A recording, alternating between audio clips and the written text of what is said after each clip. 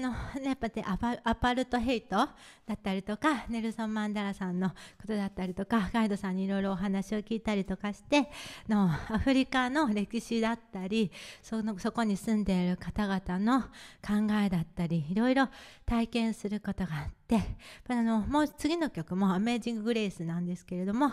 そのあの黒人さんのね奴隷船の船長をしてた方が作った曲なそうなんですね。そのずっと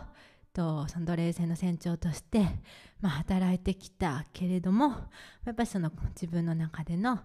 あの後悔だったりとか申し訳ない思いだったりとかそういうのもありつつ働いていたと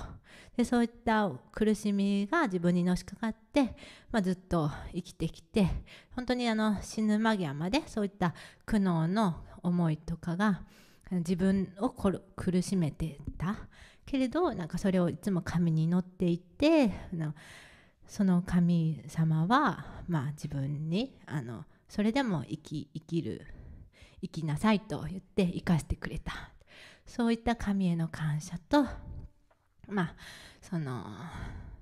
そ生きてこられたっていう感謝ですね。そういったことを込めて歌ってるんですね。で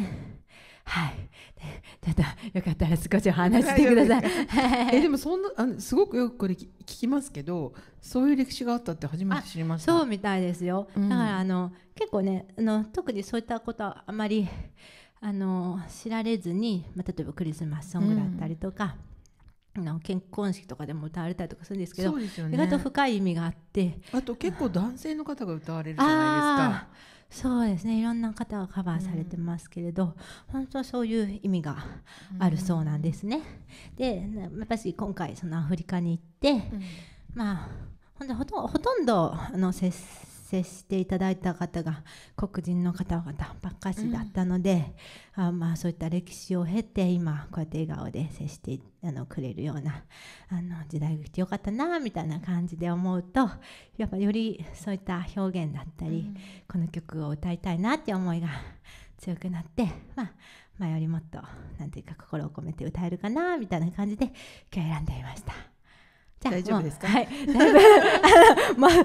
悦子さんに喋ってもらおうと思いつつあのお席をされてたので 一生懸命喋りましたけど。いやいや全然全然。はい。じゃあ歌います。